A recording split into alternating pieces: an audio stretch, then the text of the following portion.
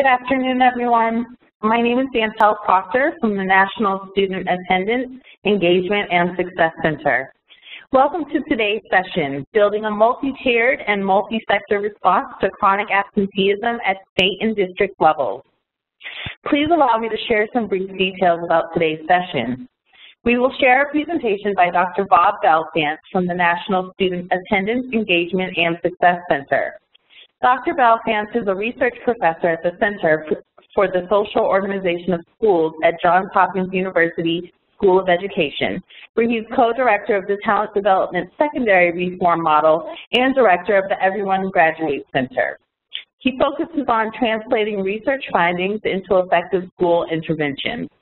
In 2013, he was named a champion for change for African American education by the White House. Today's session will last for approximately 60 minutes and is being recorded. We will be placing everyone on mute. Please do not unmute yourself. At the end of the presentation, we will play a video of pre-recorded responses to a few pre-submitted questions. After, we will have time for a live Q&A with Linda Muskowski from the Everyone Graduate Center. If you have any questions comments, please log them into the chat function on the right side of the screen. Any unanswered questions will be answered via email within the next couple weeks. Before we begin the presentation, I want to share with you the mission of the National Center. The mission of the Center is to disseminate evidence-based practices and build and facilitate communities of practice to help students attend every day, be engaged in school, and succeed academically so that they graduate high school prepared for college, career, and civic life. Now we'll watch Bob's presentation. Welcome to Breakout Session 8, a multi-tiered, multi-sector approach to chronic absenteeism. I'm Robert Balfanz from the National Student Attendance, Engagement, and Success Center.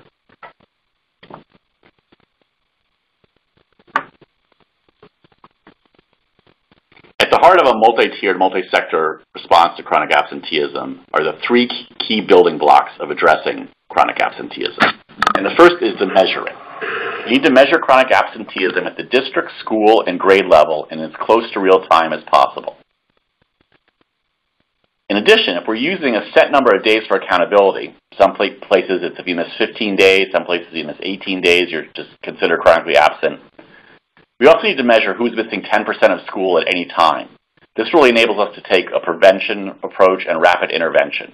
We don't want to wait to the end of the year to see that a student has missed 18 days to do something. We want to know in November or October or the end of September how many kids are on track to be chronic absent. We can only do that if we're tracking how many kids at any given time have missed 10% of the school year to date. This lets us identify students who are chronically absent and trending towards it. The next building block after we measure is to monitor. On at least a biweekly basis, we need to be examining chronic absenteeism trends and patterns at the district, school, and grade level. So we want to be tracking individual kids to know who we need to intervene with. We also want to be looking at trends and patterns to find the most strategic point of intervention. And that's critical to a multi-tiered, multi-sector uh, intervention system, which is always asking, what is the most strategic level I can intervene? If we see through trends and patterns, that multiple students have the same problem. It's much easier to often address that at a more systematic level than kid by kid by kid. And then on an annual basis, we should conduct surveys to really understand the key drivers of chronic absenteeism at the district and school level. How much of it is things keeping kids out of school? How much is it, is it kids avoiding things at school? How much of it is disengagement? How much it is parental misunderstanding of the importance of attendance? That can change from year to year and vary from place to place. So that's why it's very important for districts to do their annual surveys to get a deeper understanding of why kids aren't coming to school on a regular basis. After we've measured and monitored, it doesn't do any good if we don't act. So the third key component of this effort is really to act upon the data we're measuring and monitoring. So we need to build a prevention and intervention system that's appropriate for the scale and intensity of the chronic absenteeism we have found. We need to build relationships with students and families with prior histories of chronic absenteeism and those just trending towards it so we can get that deep understanding of root causes. If we don't understand root causes, it's very possible that our intervention and prevention strategies will be wrong and misaligned and can even make things worse, not better. And as we're going to see in more detail in a minute, we need to take a multi-sector approach um, when we find an underlying issue that's from outside of school uh, that's driving a lot of the chronic absenteeism. And finally, we have to make school a welcoming place for students and parents and take a problem-solving, not a punitive approach to chronic absenteeism. We want all students and all parents to know they're wanted and desired in school every day, and if they can't make it, we want to help solve the problem that's standing in their way. We don't want to make them feel bad because they missed a day of school. We don't want to make them feel like we're going to try to get them in trouble. We want to make them feel like we want them there. We want to understand what's keeping them, what's keeping them from being there, and we want to work with them to solve that problem. Once we've done our measuring and our monitoring, we're going to almost always understand that why we want a multi-sector response. We'll see that it's not just a school or parent issue. We will see that there are issues clearly related to schools. There are maybe some issues related to parental misunderstanding or struggles they have with um, with just being able to find the transportation or the, the means for their students to be in school every day or their concerns about safety.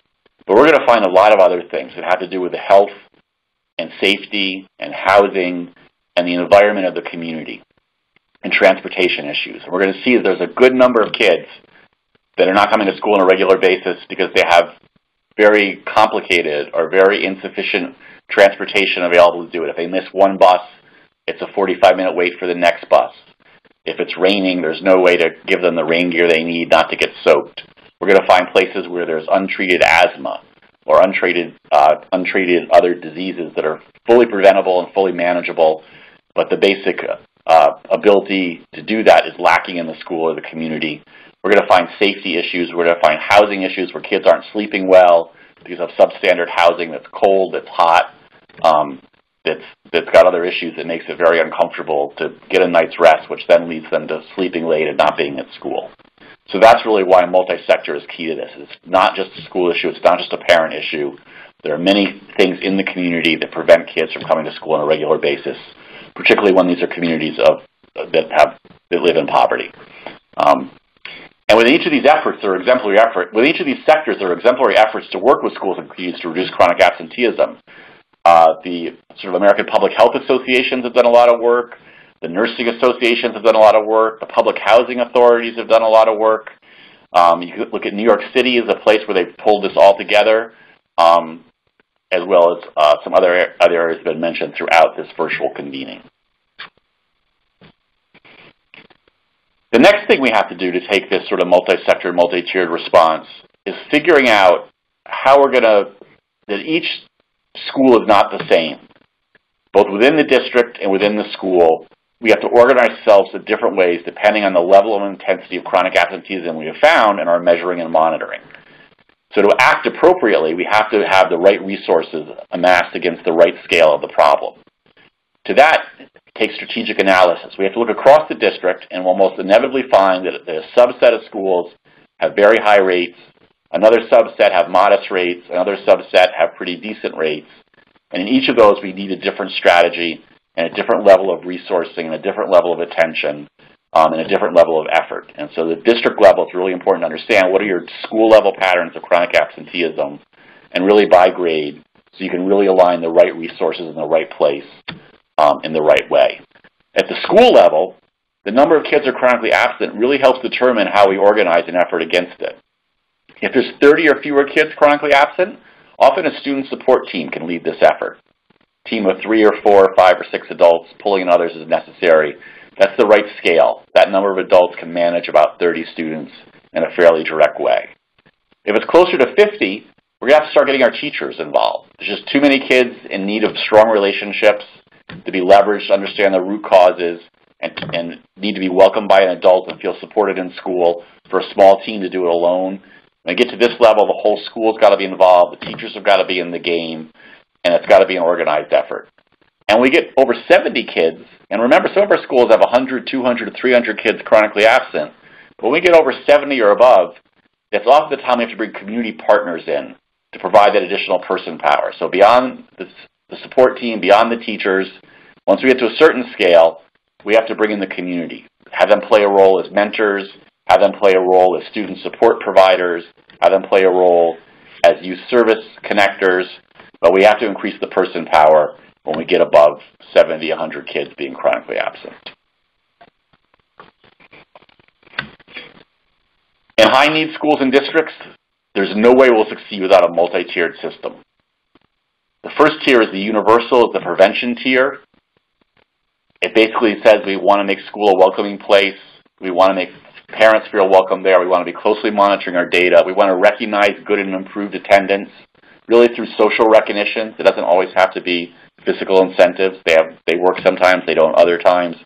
But almost there's no kid that doesn't want to be socially recognized for good behavior and good outcomes in school.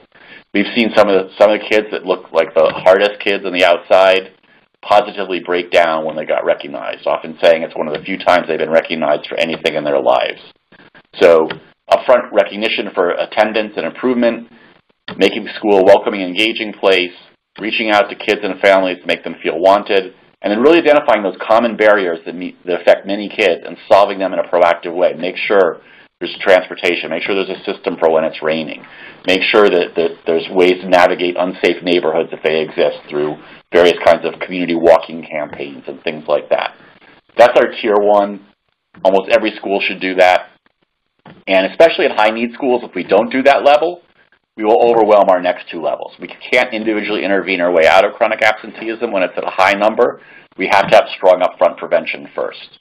The next tier is the is tier two. That's for kids that need some sort of direct adult contact on a regularly reoccurring basis.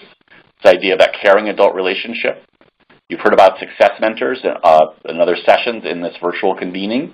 That's a growing effort to kind of create those, those caring adults at scale that work in the schools, form a direct relationship with students that have a history of chronic absenteeism or have just become it, leverage that relationship to other underlying root causes, share that with sort of school data teams that can systematically analyze that data, but be there every day to welcome that kid in school or most days of the week to encourage them, to make them feel wanted, and to really start doing that micro problem solving for when they just need the alarm clock to be woken up on time, when they just need some small changes to make big impacts, then you can directly do those. And then also when it becomes a bigger issue, you can more rapidly refer the kids to the help they need. And then finally, if those things, for the kids, these tiers don't work, we need that final third tier, that really coordinated uh, youth service agencies in the school, the rapid referrals, sort of case managed.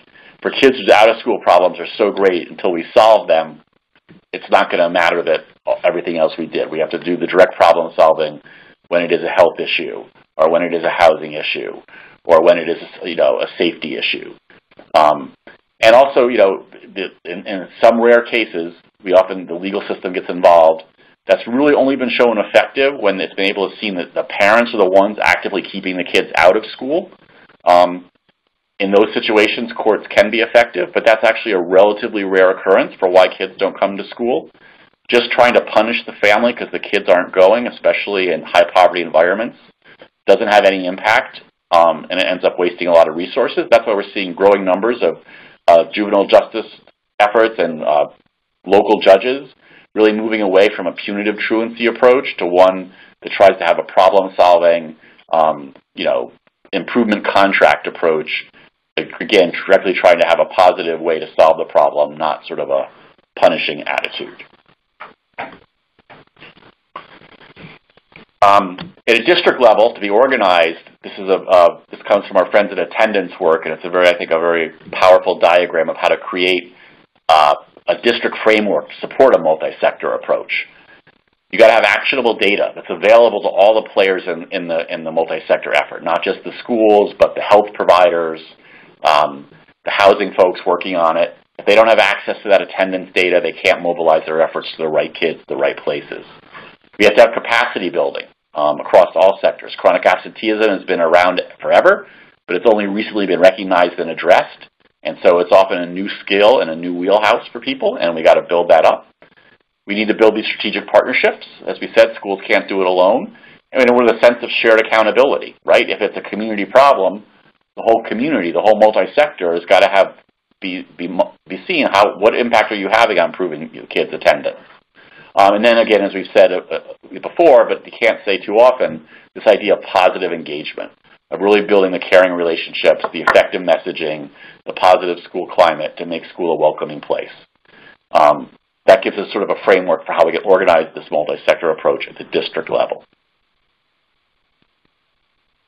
And then finally, we have the state level. Um, and again, this comes from our friends at Attendance Works. Um, they've done a lot of good work at the state level. And if you were able to see the chronic absenteeism presentation, um, one of the large plenaries that were done yesterday, but is available at the at, at the uh, National Student Attendance Engagement and Success Center um, to be watched, uh, you know, archived to be watched again if you missed it the first time. Um, representatives from the state of Connecticut are there, and they have one of the strongest state-level uh, multi multi-sectored efforts. Um, and this really is, this this diagram shows this idea of creating sort of uh, practice through peer learning, groups of, of districts and so forth learning together and sharing their learnings, supported by some TA and some policy changes at the state and some training efforts.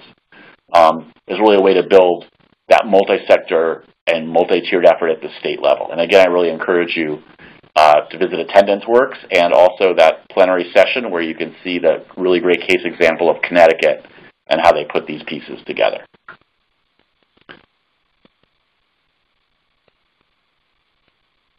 With that, I, I thank you for participating, and we're going to now uh, hear some answers to some of the questions you sent in. Hi, I'm Robert Balfanz from the National Student Attendance, Engagement, and Success Center, and I'm here to answer some of the questions you sent in for this session. Our first question, we are tracking chronic absence as a state and at the local level. How can we support strategies that will accelerate results? So we really know there's four key things that need to happen at the school level to really move chronic absenteeism, and they can be supported at both the state and the district level. First of all, we have to monitor chronic absenteeism on a regular basis and as close to real time as possible. And we need to do it at the grade level. So we really make sure that so make sure that's happening and make sure the schools have ready access to their data so on a regular basis weekly or biweekly they can look at trends and patterns to see who's chronically absent who's trending towards chronically absent who's getting better and exiting chronic absenteeism. That's the first thing. Then we have to be able to react to the level of chronic absenteeism we need and it usually involves creating some sort of mentoring or adult connection system for the kids with a prior history of chronic absenteeism where they know there is someone in the school that's missing them every day they're not there, that's calling them when they're not there, that gets to know them, that encourages them, and leverages that relationship to understand the root cause of why they're not coming. Then we need sort of a problem solving capacity. We need a way to say, what assets do we have in our school and our district that we can bring to bear against these issues that we find are surfacing, whether they be outside of school, in school, or types of student disengagement that are keeping students from school? How do we align the resources we have against the emerging patterns we see? We then also have to work to involve our youth serving and support agencies in a more integrated way, have them participate in some of these weekly or monthly data review meetings so we can have much better interaction with the folks that have capacity to deal, deal with things like housing issues or health issues or safety issues. And then finally, we need to really make sure we always create that positive, welcoming school climate where kids want to be every day, where parents feel welcome.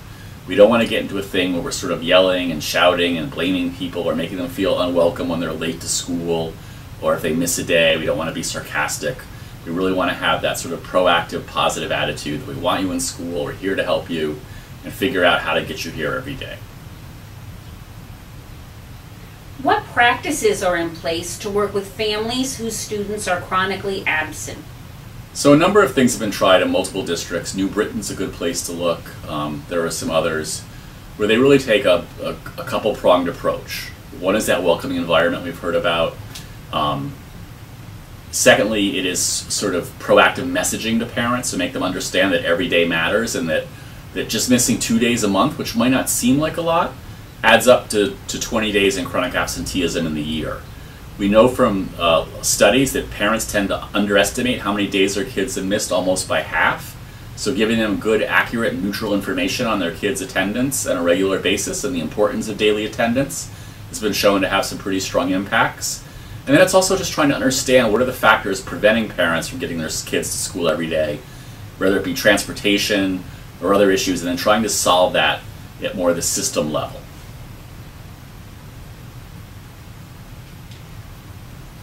Currently have a tiered attendance intervention pyramid built, but are still looking for ways to recognize students whose attendance has improved. So one of the things we've clearly seen over time is that social recognitions are the most powerful. Kids of all ages crave adult recognition, even though they may not seem like it, especially as they get older. Um, and so things just like most improved homeroom, uh, students that have made significant improvement over the last two weeks, uh, students that um, have had maintained good attendance. You want to sort of recognize all those variants of sort of good attendance and improvement. Simple things like putting their picture on the wall in a, in a place of sort of celebration for the school, having shout outs on the intercom, um, you know, having group celebrations for the most improved homeroom. Those things go a long way. They don't cost anything. Um, and they tend to have more staying power than just pure sort of material incentives. So it's really just that recognize we want you here every day, we recognize it may be hard for you to come every day, we're really giving you encouragement and shout outs and recognition when you're able to make that effort and solve those problems and be there every day. How can we get city and state officials to write legislation around attendance? So, you know, a couple things to keep in mind here. One is you want to make sure it's good legislation and not bad. You want to make sure it is that positive, proactive, problem-solving approach and not a punitive, uh, let's let's crack down. People think that's the answer, but the evidence shows it doesn't make it better. Um, it often makes it worse, and sometimes it gets to the point of almost criminalizing um, being poor. So what we really want is, in Connecticut has some good example of this. They have some good recent legislation that really established that, that they would have a common definition of how they measured chronic absenteeism in the state that they would monitor it and districts would monitor it and the districts that had high rates of chronic absenteeism would come up with action plans. So I think if you want to look for a place that's had good legislation like the Connecticut, um, and from that you sort of have to encourage and find sort of the groups, the advocacy groups, the parent groups, uh, the folks that can sort of get their legislature's ear and sort of be the conduit for that legislation. But the key thing is really give them examples of positive and effective legislation and not legislation that sort of pushes uh, against the evidence we have of what we know matters and helps improve attendance. How can states support a multi-tiered approach to chronic absenteeism? So uh, our friends at Attendance Works, and I, I uh, direct you to their website to find the best examples and also the uh, presentation given uh, today, or yesterday, sorry, in our virtual convening on chronic absenteeism has representatives from Connecticut, um, as well as some information from California and other places on what good state efforts have been. Broadly speaking, states should have public awareness campaigns of what chronic absenteeism is and why it matters. They should establish a standard definition of what chronic absenteeism is across the state, um, using either the 10% uh, idea of missing 10% of days of schooling um, because that lets you be much more proactive in your intervention. You don't have to wait till a certain threshold is reached to trigger action. It's when lets you know if our students trending towards being chronically absent, if by November they miss 10% of school. Uh, you want to produce and share chronic absenteeism reports uh, by district grade and subgroup. You want to link this to your longitudinal systems where you can. You want to make addressing chronic absenteeism part of your school improvement strategies. That's a critical way. You will not improve your schools if your kids aren't there every day to benefit from the improvements. You want to support capacity building around both understanding data and best practices in combating chronic absenteeism. And you want where you can build those peer networks of districts so they can learn from each other um, and not feel so isolated in this work. How can we get help to these kids more quickly? So this really gets back to that idea of using that close monitoring and and there's two groups of kids that you really want to be able to move quickly on. It's kids that are trending towards chronic absenteeism in a given year. That, that, that example of it's November and they miss six days. That may not seem like so much yet, but if that continues, they're on the path to miss a month or more for the school year. So by using that close tracking of not just hitting a threshold, but a percent of school days, you're able to move much more quickly. So that's that's one key way to, to do it. The other group that's that you'll pick up from that that's very important to deal with in this sort of being very proactive is the kids that do not have a prior history of chronic absenteeism but have just become chronically absent for the first time or even trending towards it. That tells us that something recent has happened to change their patterns. Something has happened outside of school to make it harder to get to school. something has happened in school they're now trying to avoid, um, or they've, they've picked up signals that being in school every day is not important. But it's recent, right? Because all their prior history has been to have good attendance. So that's a group of kids where you can likely make very effective difference if you have that strong relation with them, relationship with them. They feel a sense of trust with an adult or adults in the school. They can help explain what's going on, and you can act upon it because it hasn't been going on for years and years. Well, often the case when, that, when that's true, it's harder to disentangle because there's been both the issue itself and dysfunctional responses to the issue, and it becomes a multi multi-dimensional thing. But when kids have just become chronically absent or trending towards it, that's sort of like that golden hour in medicine when you perhaps can have your greatest impacts if you're both monitoring it closely enough and have built that relationship trust so you can sort of understand what's going on. If you have not built that relationship, it's going to be difficult just to go up to that kid that no one feels like no one knows me, no one cares, and say, hey, why aren't you coming to school? Like, you're not going to get the real story right away. So it's really monitoring the data and having that trust in the bank really lets you be very proactive when you see something has changed to make the student suddenly become chronically absent. What role can CBOs play in the response? CBOs have a very important role to play in a multi-sector, multi-tiered approach to combating chronic absenteeism. Um, at one level, they provide the source of the person power needed when you have a significant chronic absenteeism problem. And you need to build those relationships with 50, 70, 100, 200 kids. You're not going to be able to do that without community-based organizations. We've learned that through our success mentoring effort, which you can learn more about in the third plenary that was given in this virtual convening. And I really encourage you to go see that um, online. It gives a really good example of a really powerful community-based organizational role in providing success mentors.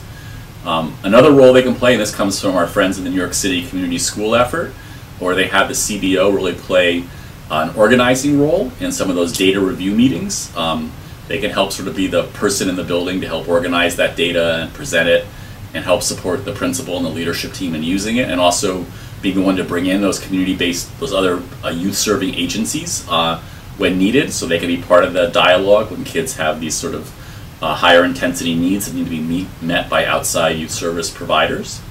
So those are some of the key ways that CBOs have a really an essential role to play. And we also, um, in the after-school space, is another key place where they can play a critical role by both providing the things that engage kids and make them want to come to the school day to be in after-school, and then also using that to build the relationships and the trust to sort of encourage them and stress the importance of being in school every day. How do we help schools and districts build a response framework? Are there examples or models available? Sure. So in, in the in the PowerPoint today, um, there was some good visual models that are really based on uh, things districts have done and used. Um, and again, you can Attendance Works website will direct you to some of those districts. Um, but I'm going to give you a simple idea here, which is really just create a grid that, that says, you know, what are we doing whole school? What do we have targeted?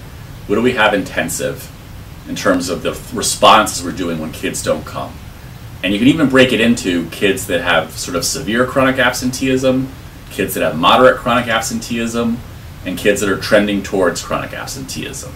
And just chart out what prevention strategies do we have? What targeted strategies do we have? What intensive strategies? That's the first step.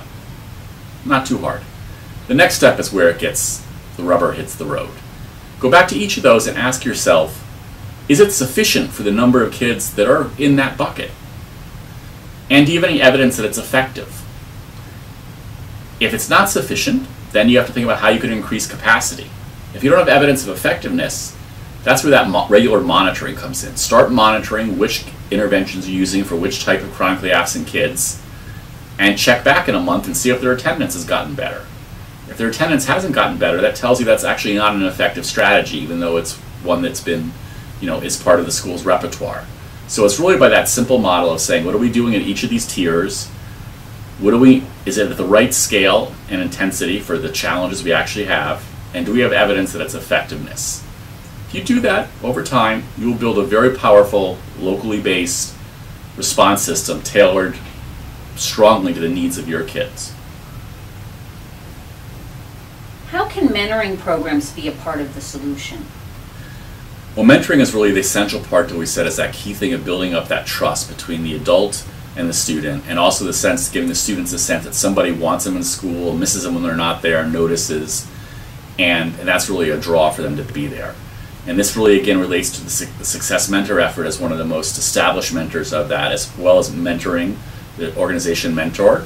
Um, is another great place to check their website. They have a lot of evidence-based mentoring programs and specific work on how to use that to address chronic absenteeism. Um, but essentially, the core idea of why mentoring matters is that kids come to school because they know somebody cares.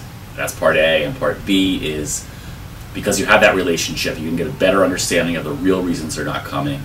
And that's very important because we don't know the real reason. Our interventions will misfire or, in the worst case, may make things work. And when you have many kids chronically absent without some sort of mentoring program, and I think you use staff from the school can be mentors, cafeteria workers, security guards, all the adults in the building can do this, as well as outside CBOs, to create enough person power so that every kid that's chronically absent has that adult in their corner looking out for them, encouraging them to come, and helping them problem solve when they can't be there. How is local agency incorporated into this multi-tiered approach? We currently have parents that think so what when they call their child in. So there's two parts to that answer. One is that we do have to continually educate parents on the importance of coming to school every day, particularly when kids are young. Right? There's often a feeling that pre-K and even kindergarten is sort of like daycare. It's okay to miss a lot of days because it's just a happy place where kids are safe. But critical learning is happening during those times, and consistency matters for developing important behavioral norms and abilities and, and cognitive skills. And it's just letting parents know that regular attendance matters at all times, and that, regular attendance in pre K and kindergarten really helps their kids lay the foundations that will make them strong readers by third grade um, and successful in school. And so it's letting parents know that that's true. It's having that positive outreach to them, not in a blame way. Many of these parents are juggling a lot of things, multiple jobs, uh, trying situations, and really providing a good home for their kids. And sometimes they're working shifts that don't even have them home in the morning when the kids have to go to school, and it's a sibling getting kids to school. Um, so have some empathy for that and a sense of outreach and support um, and a sense of welcoming. And along with that pure information of why it matters, and again, there's been really progress has been done with uh, positive messaging and different types of messaging and sending the right letter home can make a real difference. We've often too often sent a punitive letter, do this or else, or you're in trouble, um, or as an automated voice on a phone that's got no warmth or connection that's sort of scolding you. Um, so it really is about making that positive outreach and giving the clean information of why it matters and being consistent about that. Um, and if you do that, you will see a big change in parent agency. We are part of a decentralization of charter schools. How do we implement systems that talk to each other when students are transitioning between schools throughout the academic year? So this is a problem that's not just faced by a decentralized charter system, but but schools and districts with high mobility in general. And there's been a number of places uh, that have started using like cloud-based uh, storage and things like that with the appropriate security, where the data is sort of always there, and with the right access code, uh, you can always get that data. Um, and I think we have to keep moving towards systems like that. I know there are security concerns, but there are folks that have also solved some of those concerns. To really think about if we can have data easily accessible in the rest of our life outside of school, um, as we move around and are mobile, um, we can. There's got to be ways we can do that with sort of basic information about students' attendance uh, and their health records and things like that. That that um, really help you understand what their needs are and what we can do uh, to get them in school every day. One last question. What can be done to reduce chronic absentee rates with limited resources and no external support? So that's the power of a lot of what we've been saying. Sure, there are cases where more resources will make a big difference, and there are too many of our schools that are just don't have the resources to meet the challenges they face. But at the end of the day, this is about, as we said in the webinar, is about measure, monitor, and act. It doesn't cost anything to measure chronic absenteeism. Its attendance is recorded every day at the school, and it's sent home on the report cards at a quarterly basis. It's about just reporting the data that's collected already in a different way to let us know how many kids are attending regularly and how many kids are not. It doesn't cost money to set up a group of adults that every two weeks come together for an hour to look at that data. Sure you have to make choices of how you spend that hour, but that will be a very powerful use of that hour. Um, and it doesn't take any money in the end of the day to create an internal success mentor program where the adults already in the school each take one or two or three kids that are chronically absent. They already come across in some form already in the school day based on the grades they teach or the subjects they teach.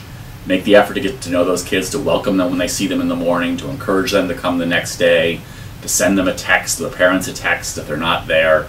Um, that doesn't take money. Um, and if you did those things and then just work to do better coordination with existing youth agencies that exist, and then use things like the climate tool that's provided uh, by the uh, Office of uh, Safe and Healthy S- Schools and Students, um, you can do a lot um, without spending any money and make a real difference. Thanks, Bob. Thanks. Thank you. Hi everyone, we're going to start with a live Q&A with Linda. Uh, so if you have any questions, please put them in the chat function and we will read down the list. Linda, we have one question for you as of now. It's from Brian and he would like to know, what is a good data gathering tool? Thanks so much, uh, Brian. First, I want to apologize to everyone for our technical difficulties, and as Dontel said, assure you that we will send a link so you'll be able to um, hear the um, the actual audio to the questions that were um, pre-recorded. So I think that the data tool really depends on the state or district. Um, the states and districts are at such varying different places. Um, with how they are re recording their early warning system data um, for attendance behavior and for course, course performance. So first and, and foremost, it, it kind of depends on what gives you actionable um, real-time data that can translate into school teams being able to use that data to respond to student needs. Um, there's not a particular um, platform that we would recommend. I think it's really starting out with um, thinking about what do you have currently in place, what kind of um, data would you want to mine, what levels of the IT supports would be um, at the district level, what uh, supports would be at the building level, and then what would be at the state level, and then building from there. Linda, we have a question from Ryan. He would like to know, when dealing with families with multiple students in different grades with chronic absenteeism, what are some good strategies? Wow, yeah, that's a really that's a really powerful um, question. And, you know, I think we've been hearing a theme across all of the um, presentations, and that is that we're really trying to come from a strength, strength-based and solution-oriented um, response.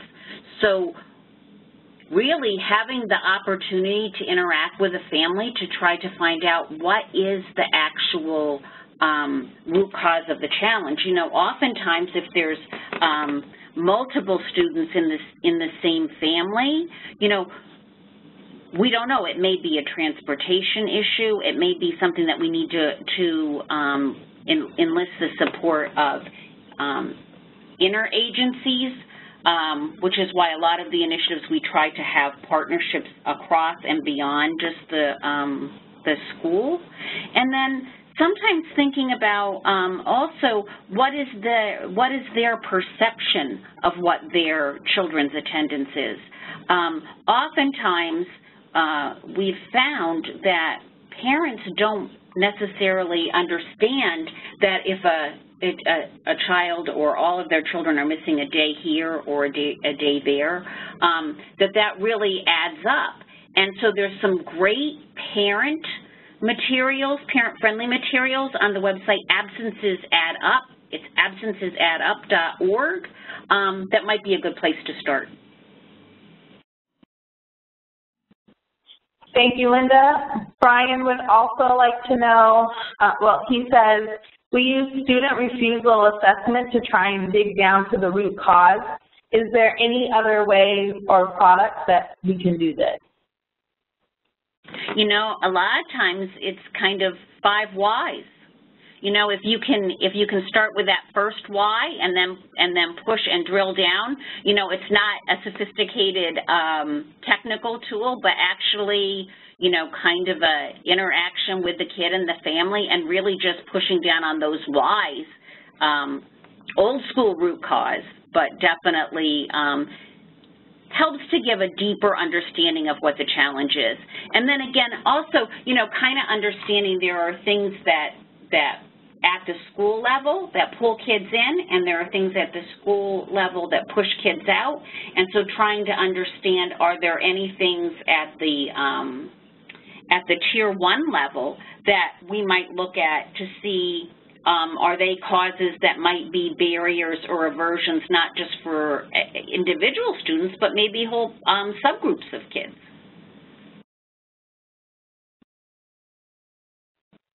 Thank you. Patricia Graysick says, I'm wondering how we can hold other sectors accountable to address the issue of chronic absenteeism. Schools are held accountable and funding is based on ADA rates. What can be done to ensure that other sectors contribute their support as is needed? Oh, wow, that's a great question as well. So one of the initiatives that you may have heard quite a bit about uh, over the presentations across um, yesterday and, and today um, was the Success Mentor Initiative, the My Brother's Keeper Success Mentor Initiative.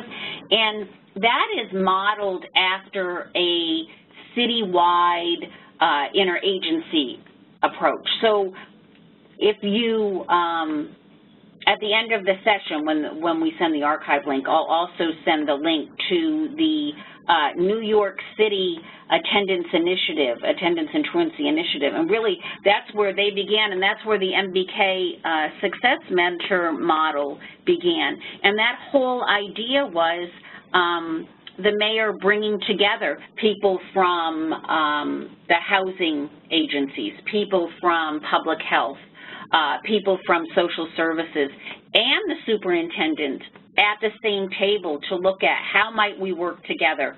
And across the um, 30 districts at very differing levels, the um, My Brother's Keeper Success Mentor Initiative districts, those citywide convenings um, continue to happen and, and to um, to come together around the data and look at just as we do resource mapping at a school level, how might we do resource mapping at a city level so that we can get the services um, cross-agency to students, parents, families, and communities that need them.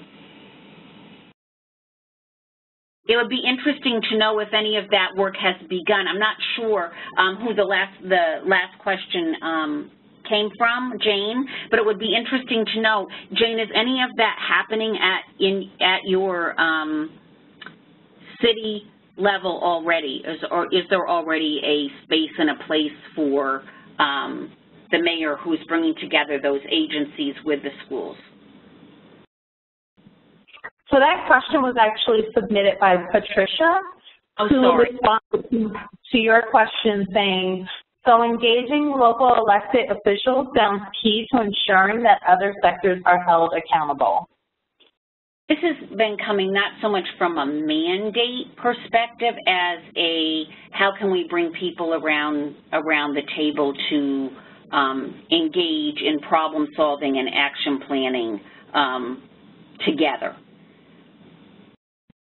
So not not coming from a place of um, you know, how can we make you do this, but just just kind of also as that same strength-based, problem solution-oriented space that we are uh, encouraging schools to be at with schools and families, which is, you know, let's unearth the problems and see what might we do. And we've had a great deal of success across, as I said, um, a, a, number of the um, MBK cities. And many of them have, have um, posted on their websites a variety of the uh, cross-sector convenings that they are doing. Um, if you were to, to Google it, um, I know Philadelphia, uh, Cleveland, Columbus, there's, there's many others, Detroit, um, but that might be a good place to get some good ideas about how they are, are having their initial convenings to bring the right people to the table. Thank you. Jane Boyack would like to know, are there sample surveys available for the climate survey that Bob mentioned to measure reasons for non-attendance? Okay, and I'm not, I'm not sure what survey you have mentioned. I do know we just learned about a week of um, climate surveys that are going to be available to the Department of Education free of charge, and they will be included when you get the archived webinars.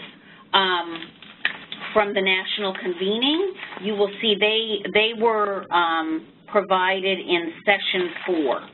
Um, and it uh, is coming out of the Office of Safe and Healthy Students, and it's a whole suite of climate um, surveys that are being provided free of charge. Thanks, Linda.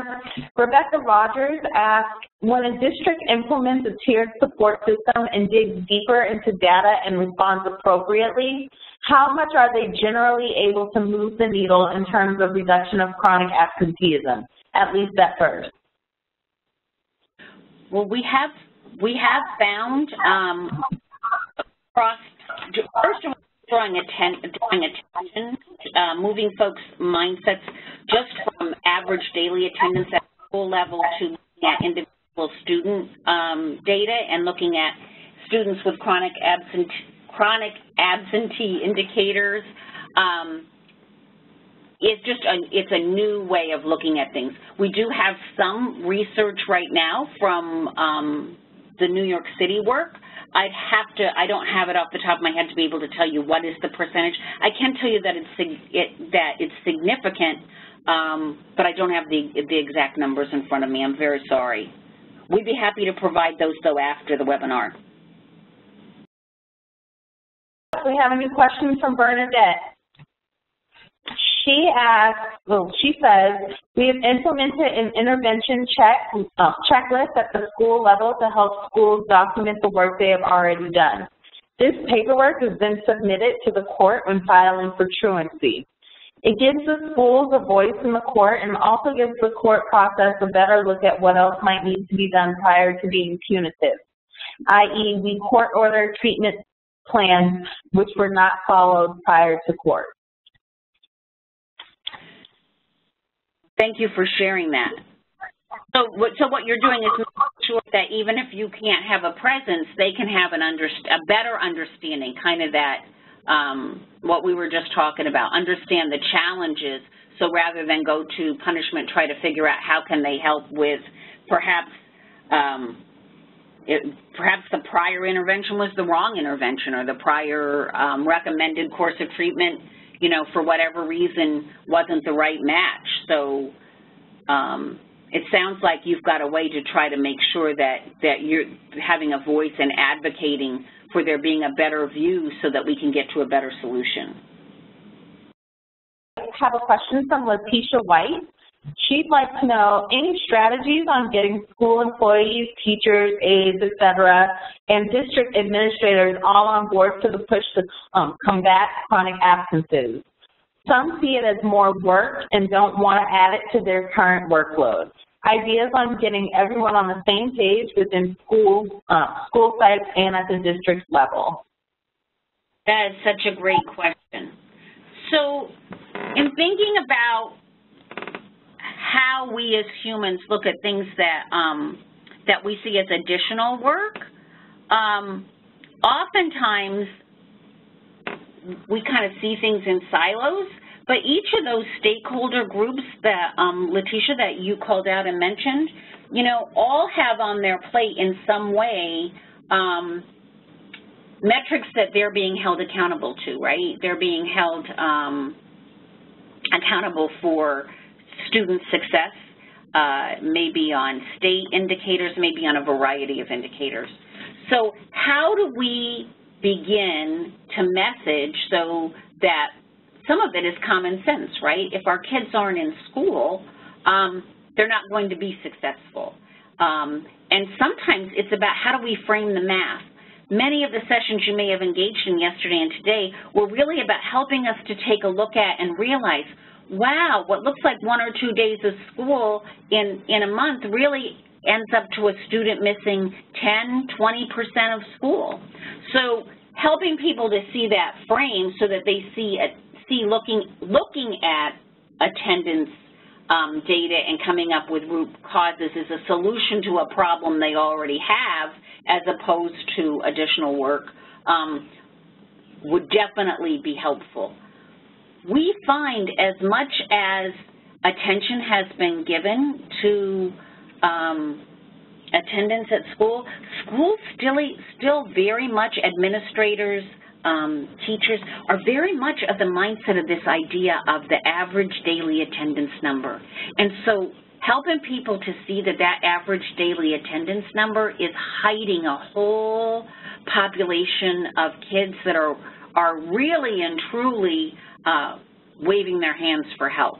So I, I, guess I guess that's a long way of saying you know, knowledge is power and sharing the things you're learning and understanding about the significance of attendance and on what the trajectory of that is on a, a young person's life, on what building metrics are that in, in the long run everybody is going to be held accountable for, um, you know, certainly would, would be a good place to start in, in helping people to be on board.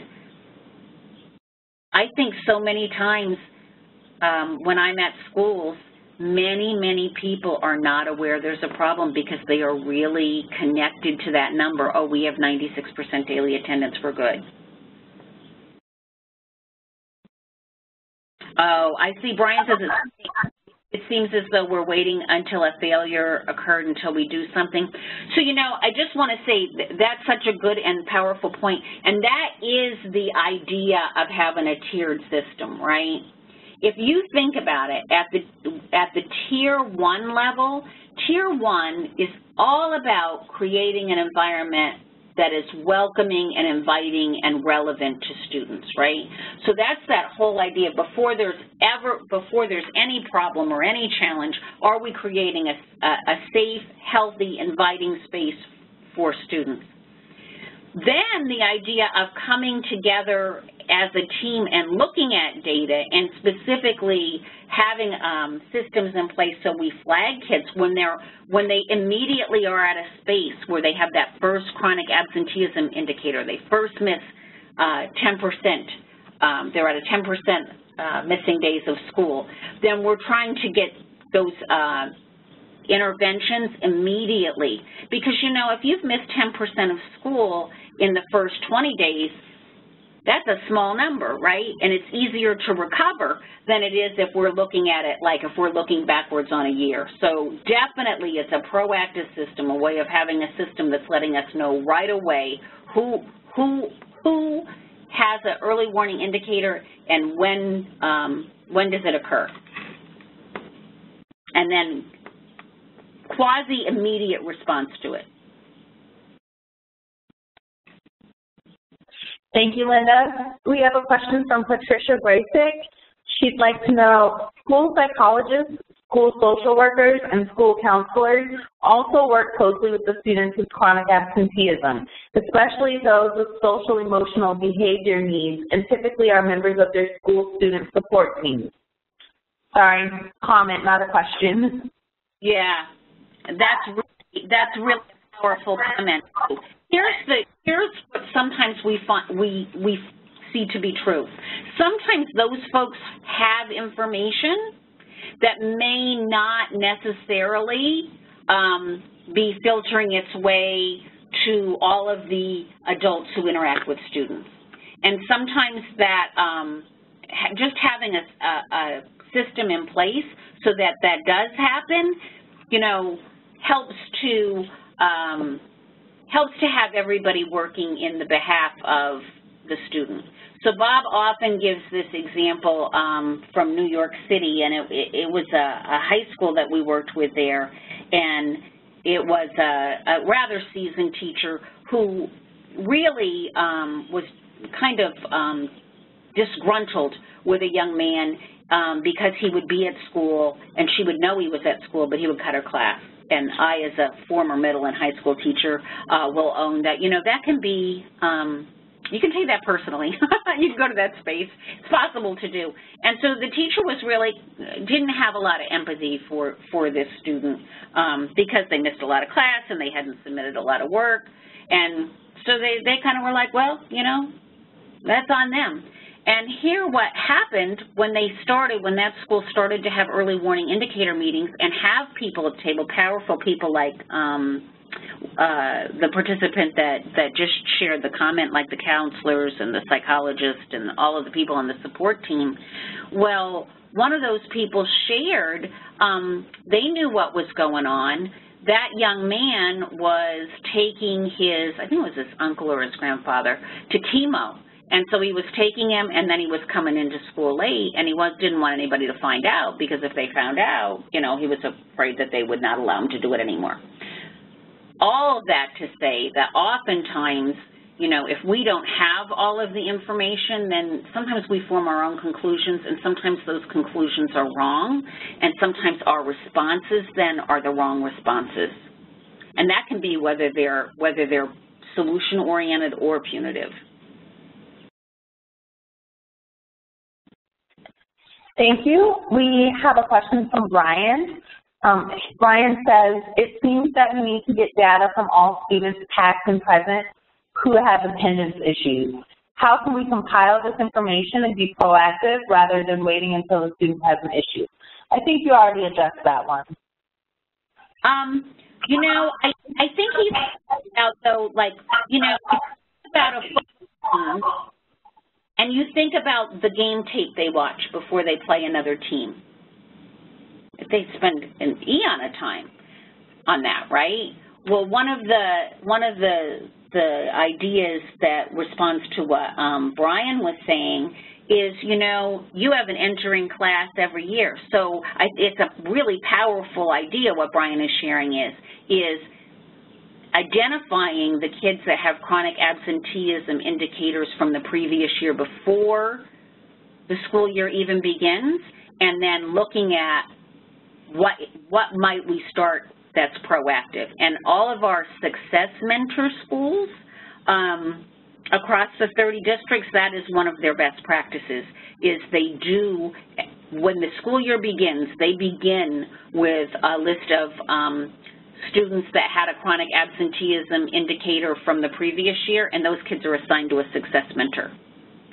Um, I also wanted to, I know we're running out of time, but I also just wanted to, um, uh, if you don't mind, Dontel, if you would read Pamela's com comment, because it really is powerful.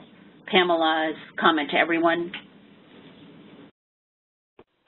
Yep, Pamela says, our leaders were shocked when we presented chronic absenteeism data once they saw the statistics from attendance work.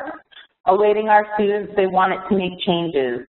Everyone needs the data from the top to the bottom. As you said, knowledge is power. It is also motivating. Yeah, that that's inspiring. Thank you for that.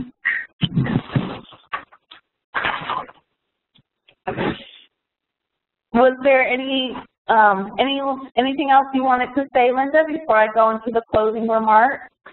Yeah, just to thank everybody again. Deepest apologies about the audio, but thank you for your perseverance and persistence. Thank you for everything that you are doing and being the voice at your uh, district and state um, and community level. Um, you are making a difference, and we appreciate everything you do.